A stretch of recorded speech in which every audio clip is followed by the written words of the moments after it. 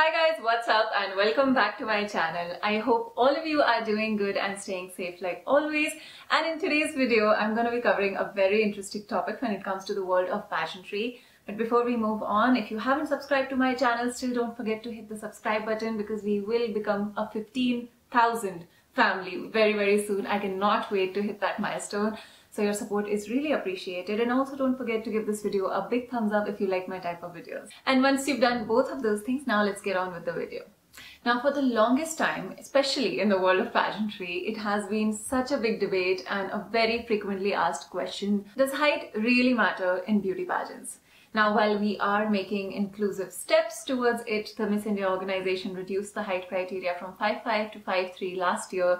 Let's see what they do this year. And Miss Diva also followed in the footsteps and reduced the height criteria from 5'5 to 5'4 this year. But still, despite all of that, it's still a very recent change. And a lot of contestants do keep asking me sometimes that even though the height criteria is reduced, will they still select the taller candidates? Or does height really, really matter when it comes to actually making decisions? And what role does it play when there's a tiebreaker? Now, I have probably said this on my channel before. The reason the pageants have height criteria, and this I am saying because the organization specifically had a one-on-one interaction with us and told us this, that they want tall contestants, preferably over 5'5 and now 5'4, 5'3 because beauty pageants are a part of the glamour and fashion industry and whoever are the contestants, the title holders, they will end up working for certain designers on stage and also in fashion shows after the pageant is over. And so when a certain designer wants to showcase their garments as a model and not as a beauty pageant contestant, as a model, you have to have a certain height so that the garments look good on you and you can showcase their design. It's not about the garments being altered to your height because the border will go away and basically practical issues such as that. And even for runway, the minimum height criteria for runway shows in India is actually 5'7 and above. So pageants actually have a reduced height criteria. The reason they keep it while the international pageants don't is because every country has their own average height and preference as to what height of models would they look for in fashion shows. But beauty pageants are trying to become more and more inclusive and in the future I hope that the height criteria is eradicated altogether. We do have a lot of hashtag movements going on and everything. But before I get distracted and go off on a whole other track, I want to come back to the topic of today's video and I want to talk about a lot of the beauty pageant contestants and queens that we have had in the past who are not adhering to the stereotypical height that we all imagine that all the winners have had always been tall. That is actually not true at all. And today I'm going to be talking about a lot of the short beauty queens that we have seen in the past. And I hope that some of you can take away some motivation from this video. Sometimes knowing that somebody else has already done it opens up avenues for us mentally also and you feel more confident and you feel like if she did that I can also do that. So we're starting all the way back in 1958. Did you guys know that the winner of the Miss Universe pageant in 1958, which was Colombia's Luz Marina Zuluaga, I hope I pronounced her name right, she was actually the only Colombian woman to ever win the Miss Universe pageant and the only Colombian who won in 56 years. That's a huge time. The only woman from Colombia who won Miss Universe in 56 years until Paulina Vega became Miss Universe in 2014 and we all know Paulina. She's such an amazing contestant and I'm a huge fan. What I want to tell you guys about Luz Marina is that she was only between 5'3 and 5'4. So even back in 1958, we had someone of that height win the Miss Universe pageant. And so that should definitely motivate you. It proves that if you have the caliber, if you are able to charm and impress the judges with the type of impact that you make, the kind of thought process that you have, the words and the vision that you have for where you want to take forward the legacy of Miss Universe, for instance, in this uh, example.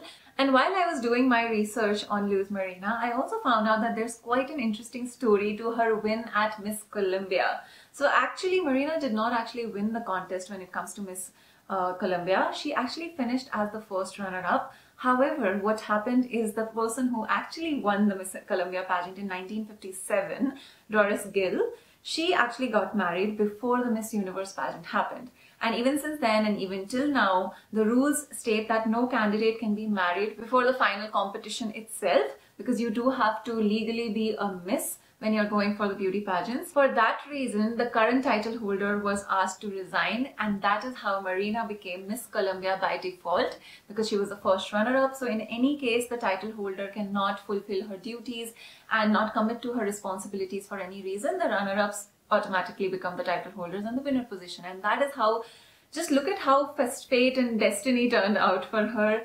She was extremely short. I'm sure even in 1958, there must have been a lot of people who must have thought that height would have played a role, but she ended up winning and this was years ago and we have definitely come a long way since then. The next beauty queen that I want to talk about is Miss Jamaica from 1963 who also ended up winning the 1963 Miss World title and one of my favorite points from the story that I read about her is that during the Miss World pageant, Crawford actually wore this swimsuit with a really high neckline. I'll put a picture over here so that she appears taller. And I thought that was really, really smart. So any of the contestants in pageants who feel like they don't have enough height to compete with the other contestants, you might be eligible, obviously. But there are certain styling hacks and tricks to actually appear taller. So you have to understand whether you have a long torso, whether you have long legs, and then you gotta accentuate and flatter that body part and make yourself appear taller. So on this note, I actually want to share a styling tip that I actually used when I went for my auditions as well. So we all wear denim shorts in pageant auditions and something that I always share with my students at Conquer and this is the first time I'm sharing this tip on YouTube for all of you guys is that whenever you're buying shorts for your pageant audition, try to have shorts which don't have a straight cut but they in fact have like a hot pants cut. I'll put pictures here so that you guys can understand better. And I also wore similar shorts at my own audition and how that helps is that once you're wearing heels and you have that cut in your shorts, it actually makes your legs look a lot longer and you look taller. The next queen on my list who has broken barriers and definitely the height stereotype is Miss Universe 1965.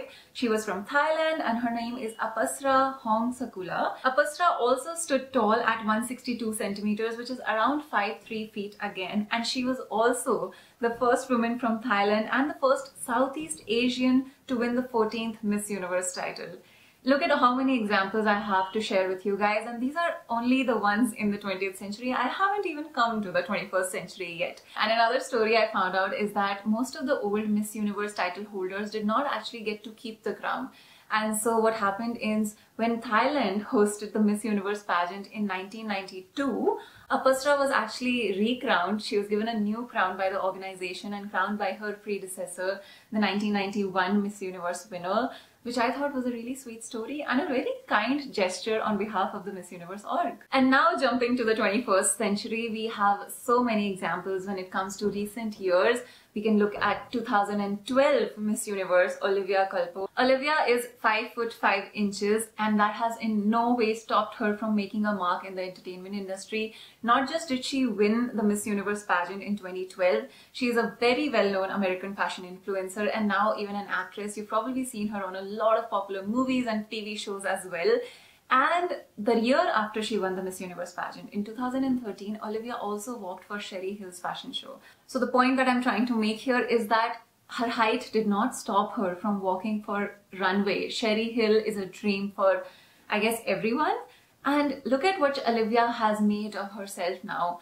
I recently was talking to someone and they were telling me that when it comes to pageants, it's not about what you win at the pageant, it's what you take back from the pageant. And I thought that was such a beautiful sentence. In Olivia's case, she won the title, but like I said in a couple of videos ago in my best pageant advice video, that it's how you capitalize on the platform and the exposure that has been given to you and even if you don't win the pageant you can make so much of yourself. There is a bucket load of opportunities that are going to come your way. You just need to be confident. And when you feel like I deserve this that's when that thing will come to you. You gotta attract what you want in life. Now just after a few years in 2017 again one of my most favorite Miss Universe in the last few years Demi Leigh she also has a height of around 5'4 to 5'5 and she also was such a big fan favorite. I mean, South Africa has been delivering exceptional beauty queens and sending them to Miss Universe in the last couple of years. Again, height was not a criteria that was a concern at all. If Demi can win at 5'4", 5'5",